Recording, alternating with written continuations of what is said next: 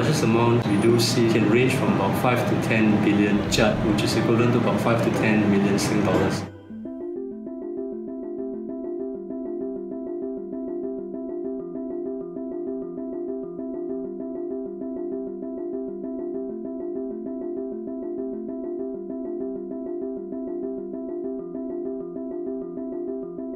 Purchase of an apartment, which sometimes ranks up to about half a million, you will see about a couple of uh, gunny sacks being dropped to the bank to make the particular transactions.